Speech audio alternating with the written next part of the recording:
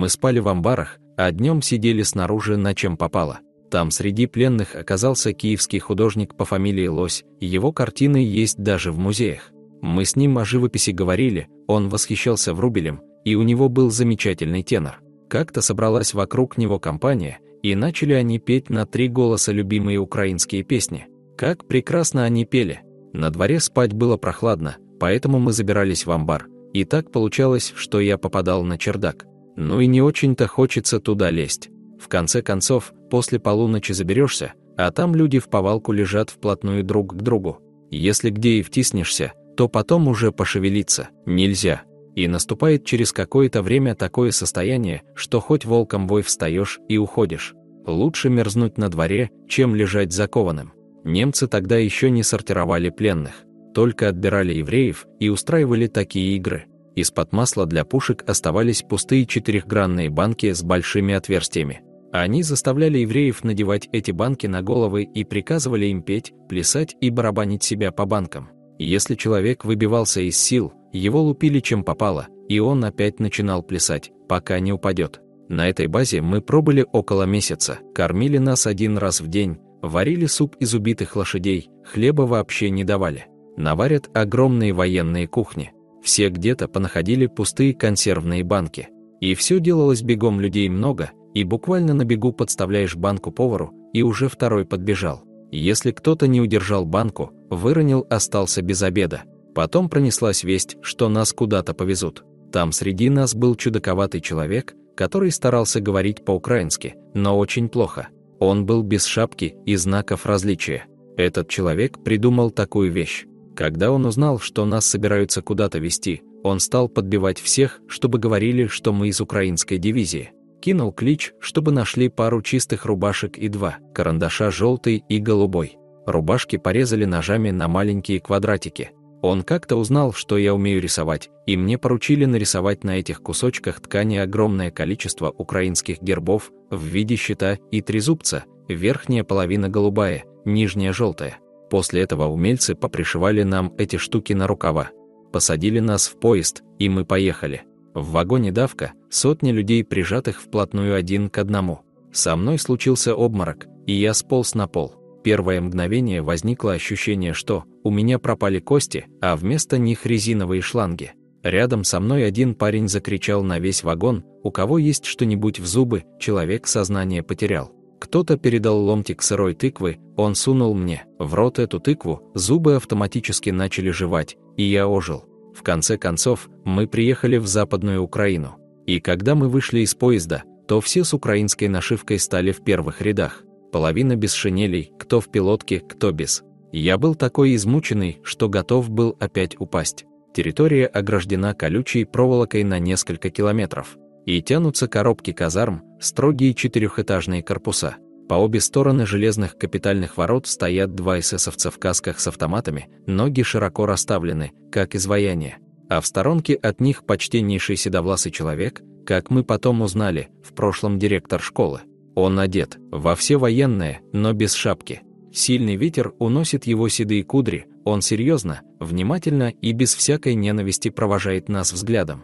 Это был комендант лагеря, он был из местных. Лагерная полиция тоже была из местных ребят, незаморенных, хорошо упитанных добровольцев, в основном это были бандеровцы. Мы распределились по казармам. Порядок был такой утром, все выстраивались в шеренгу, нас пересчитывали, приезжала кухня, и полицаи начинали раздавать баланду.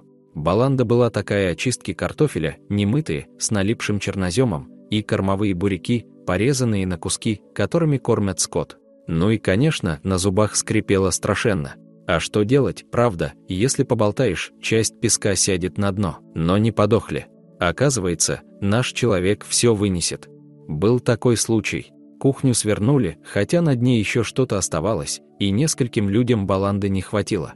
Я попробовал заступиться и сказал, что это же бессовестно, если нас не пристрелили, то надо ж все-таки кормить. И тогда один из лагерных полицаев снял ремень и шарахнул меня по голове пряжкой, под которой был напаян свинец. Лицо залило кровь. Я понял, что больше выступать не стану.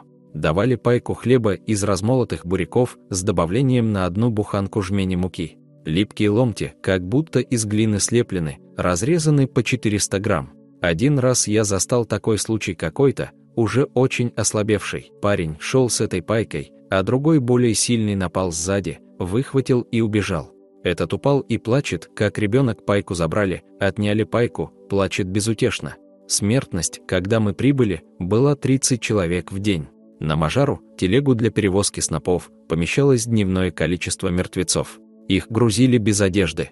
Тянула телегу специально подобранная команда, которой давали двойную пайку бурды и хлеба. Через месяц стало две Мажары в день. Как-то на поверке мы стоим перед получением баланды, половина нас – славян, а половина восточных людей. Они были в худшем состоянии, без пилоток и шинелей, может, потому что они не привыкли к военной службе и где-то это все растеряли.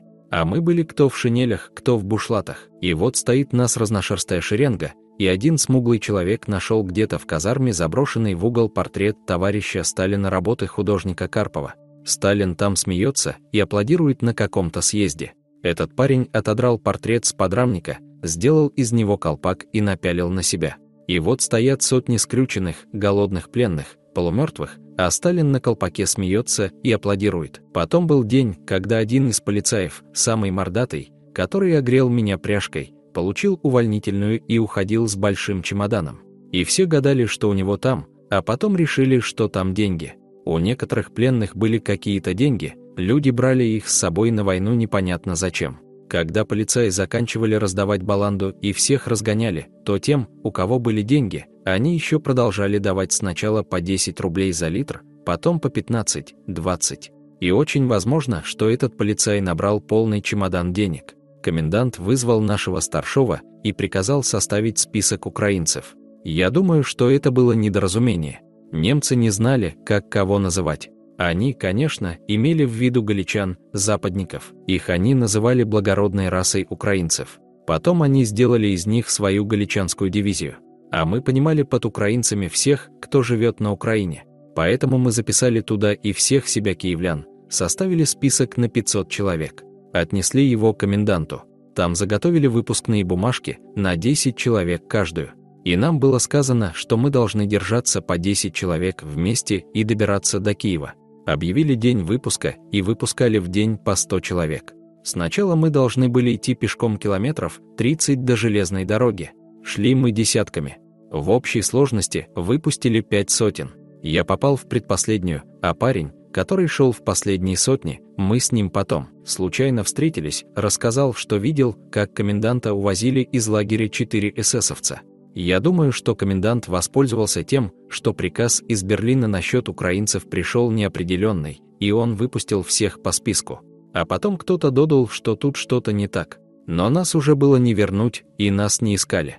А его увезли гестаповцы. О нем говорили, что он был в Первую мировую войну в русском плену. Знал русский язык и русский народ. И комендант просто придурился, что не понял, каких украинцев надо выпускать. А галичан среди нас вообще не было. И вот так мы шли пешком, ночевали в деревнях. К нам никто не придирался, и мы уже разбились по три, по четыре человека и дошли до железной дороги. Там оказалось, что раз в день ходили на Киев товарные поезда. Дежурили на вокзале венгры, каждый час менялись. Была декабрьская погода, холод, снег. Когда поезд пришел, мы сели и доехали до Киева. Вышел я на привокзальную площадь, постоял несколько минут, смотрел на город полная тишина, нет звуков ни автомобилей, ни трамваев, раньше ж всегда это было, и вообще такое ощущение, что город вымер. На стене вокзала огромный портрет фюрера с надписью «Гитлер – освободитель».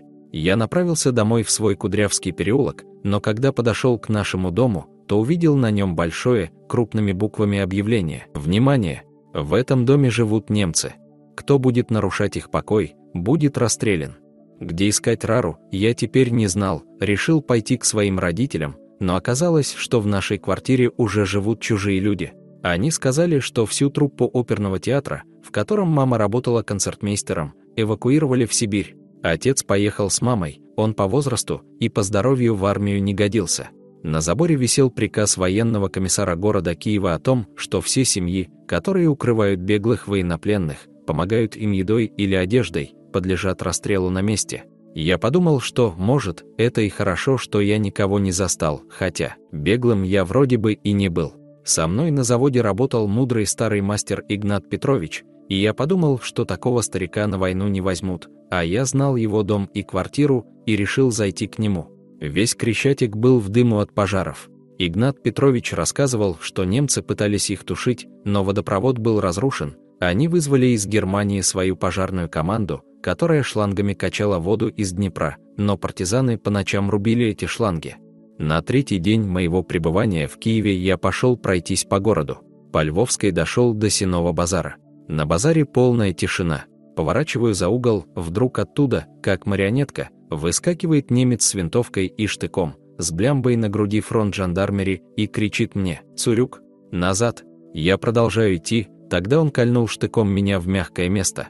Был мороз под 30 градусов, очень неприятно этим замороженным штыком меня в мягкое место.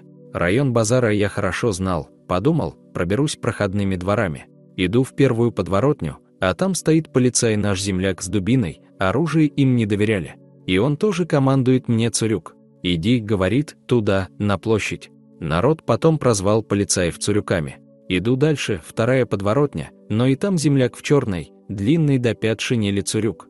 Парадные всех домов забиты досками, в дом не выйдешь. В очередной подворотне возле бывшей типографии, куда я хотел завернуть, стоит целая шеренга полицаев, у кого дубины, а у большинства просто ветки. Ветки, конечно, гуманнее дубин. Они ими не бьют, а направляют людей, как скотину, и загоняют всех во двор школы. Я иду уже не один, нас уже трое, семеро. Ворота открываются со страшенным скрежетом, таким, что аж морозом по коже, видно, их давно не открывали.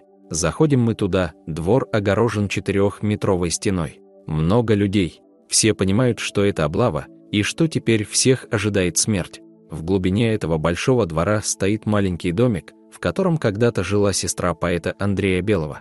В детстве я бывал у них дома, дружил с ее детьми. Ее фамилия была Бугаева. Настоящая фамилия поэта тоже Бугаев. Андрей Белый – это уже псевдоним. А у его деда фамилия была просто Бугай. Отец поэта переделал ее на более благозвучную Бугаев. Однажды Андрей Белый на пару дней приехал с лекциями в Киев. Концерты, лекции, встречи знаменитый поэт он был, на расхват, и попросил сестру через адресный стол найти моего отца. Он написал ему письмо на четырех листах, воспоминания об их юности, о том времени, когда в Москве 30 лет назад они писали стихи и встречались в Сердарде, кружке московской творческой молодежи. Отец был очень тронут, написал ответное письмо и попросил меня отнести ему. Так я познакомился с этой семьей, стал ходить к ним в гости. Когда я увидел этот знакомый домик в удаленном углу двора, меня просто потянуло к нему подойти. Дом меня поразил, в нем не было ни одного, целого окна или двери, все было вырвано с мясом и потом забито досками. Я таких уродливых досок никогда не видел, не ошкуренных, напиленных из каких-то кривых деревьев. Задумавшись, я простоял довольно долго. Нахлынувшие воспоминания вдруг оборвал удар хворостины. Я очнулся, оборачиваюсь, стоит полицай. Оглядываюсь, почти всех людей со двора уже вывели. Я понял, что надо идти. Смотрю, за воротами стоят набитые людьми машины. И я иду и, конечно, понимаю, куда иду, обреченно и покорно. В душе кромешный мрак. На крыльце стоят важные немецкие офицеры. Фуражки у них торчат вверх, как взлетающие самолеты полгоборота к ним, на ступеньку ниже, стоит писарь во всем военном, но не в сапогах, а в высоких ботинках, с длинной шнуровкой. Я подумал, сколько времени надо потратить на эту шнуровку, когда утром подъем. Он в очках, слабенький, хлипенький. Но весь кошмар в том, что это лицо я уже раньше где-то видел. И вспомнил на одной картине в Третьяковке была изображена сцена из жизни помещиков, и на ней среди других персонажей был немец, управляющий поместье, такой же точно, как этот писарь на крыльце. И вот я вижу, этот будто бы управляющий из Третьяковки читает перед немецкими офицерами приказ об отправке нас на тот свет. Такое странное вкрапление в этот ужас войны. Это выглядело до дикости смешно, и я еле удержался от смеха. Но сдержался, потому что подумал, убьют на месте, они сумасшедших не любят. Ведут меня дальше, стоят две машины, у каждой по прицепу. И в машинах, и в прицепах уже полно людей. Лет 16 мальчишка-полицай загоняет меня во второй прицеп, и через несколько секунд машины с ревом рванули. Такие мощные, каких еще и не видел. Прицеп я влазил одним из последних и поэтому оказался в самом углу у заднего борта. А везут нас как раз по улице моего детства, где я знаю каждый камень. Я гляжу и прощаюсь с каждым домом, с каждым забором. Вот дом, там в подвале жил мой товарищ по фамилии Репман Еврей. Он тоже любил рисовать, очень симпатичный паренек. Я думаю, боже мой, где же теперь их семья? Успели ли они эвакуироваться? В другом доме жил пианист с парализованными ногами, приятель отца. Он ходил на костылях, работал бухгалтером. Работать пианистом не пошел, считал неудобным появляться перед публикой на костылях. После разрухи в конце 20-х он приносил папе дореволюционные бухгалтерские книги, и тот между строчками записывал по памяти стихи любимых поэтов, таких как Блок, Есенин, Бальмонт боялся, что их больше никогда не напечатают, хотел, чтобы они хоть как-то сохранились. Следующий дом там жила женщина, которая помогала маме делать уборку. А вот двор, где был сказочный белый конь. На нем в театре выезжал на сцену князь Игорь. Хозяин держал этого коня, ухаживал за ним, иногда выпускал во двор поразмяться, и мы восхищенно смотрели на этого красавца. Проехали дом, у ворот которого старичок очень культурного вида года два раз продавал свою библиотеку. Я всегда останавливался посмотреть. И один раз увидел всадника без головы. На обложке так здорово были нарисованы американские прерии, и верхом на коне человек без головы. Он привязан к седлу, чтобы не упал, кровь заливает ему одежду, седло и коня. И вот, стоя в кузове, мне подумалось, что я и сам уже почти что всадник без головы. И вдруг сверкнула мысль, что хотя скорость немалая, но на крутом повороте все ж таки можно рискнуть и выскочить, ведь я стою у самого борта, только бы немцев на улице не оказалось. А машины как раз заворачивают на Рейтерскую улицу, где я знаю все ходы и выходы. Как только поравнялись с одной, хорошо знакомой мне подворотней, я мигом выпрыгнул и юркнул в нее. Раздались выстрелы, наверное, кто-то еще выпрыгнул. Во дворе, куда я вскочил, оказались сарайчики. Постояв за ними минут пять, пока утих шум мотора, я вышел через переулок на Житомирскую. Хотя и не видно было поблизости немцев, но переходить улицу было страшно. Через какое-то время я услыхал серии пулеметных очередей, а за ними взрывы, и это повторилось четыре раза подряд.